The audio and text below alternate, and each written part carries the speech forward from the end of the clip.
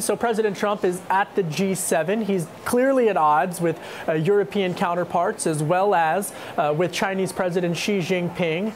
But he's also at odds with some members of his own party, including yourself. So what would you like to see the president, or how should he change course on the issue of trade?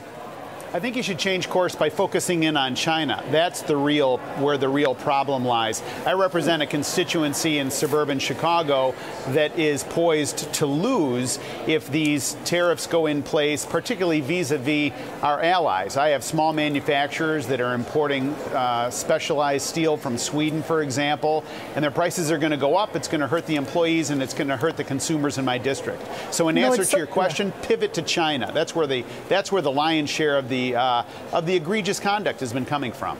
It's so interesting. In the last segment, we talked to veteran Republican pollster Frank Luntz, and he suggested the same thing. You know, he knows nobody slices and dices Republican electorate mm-hmm. better than him.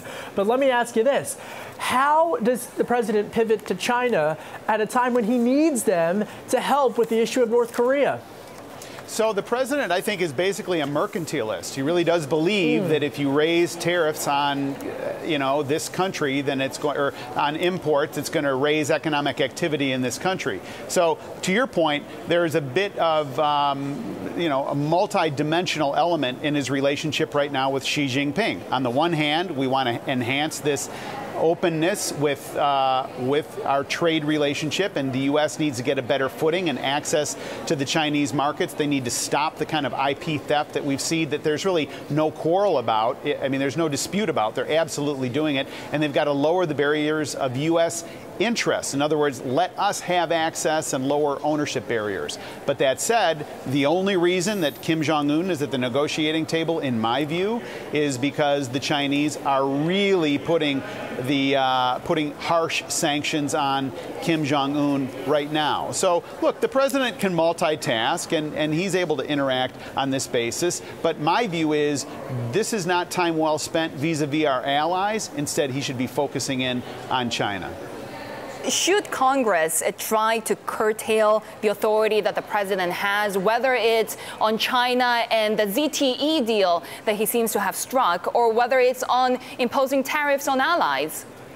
Well, the irony of Congress trying to do it is that it would require a presidential signature. So obviously, in this environment, Donald Trump is not going to sign anything, and we wouldn't have the votes to uh, to override that. So that said, we're very much in persuasion mode. So I was in meetings yesterday with Ambassador Lighthizer and with Secretary Ross, and I was giving voice to the concerns that I'm hearing from the manufacturers and employees and consumers in my constituency, and trying to persuade them to say, listen, go a different direction and so forth. So in one sense, you know, they, they are listening, whether they're hearing us and they make subsequent decisions, the jury's still out. But I don't think it's going to be possible simply to impose a new trade standard over the administration because they've got authority under the law.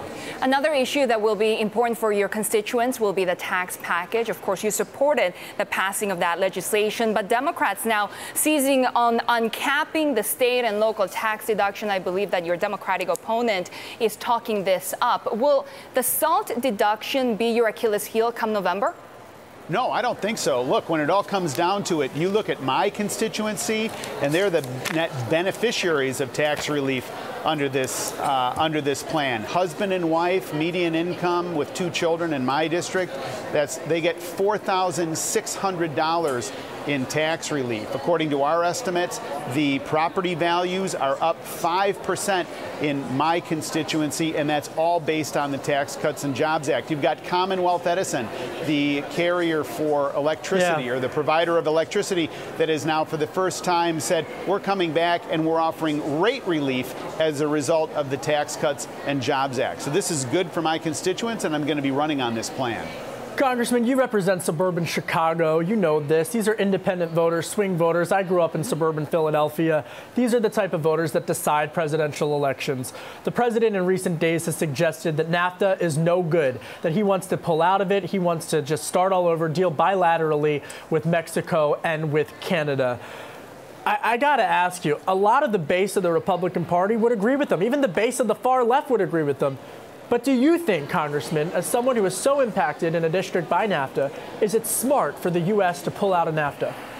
I think it's a mistake to pull out of NAFTA. I think the better move that's going to yield the better result in terms of economic growth and economic stability and prosperity would be to stay in NAFTA and update it and renegotiate it. But to walk away from it would be a mistake at this point. Now, if there were no NAFTA, would it be a good thing to just start at the very beginning and have two bilateral bilateral relationships, one with Canada and another with Mexico? Perhaps, but we're not in that season. We've got NAFTA, and for NAFTA just to come unraveled, from my constituents' point of view, I think would be a mistake.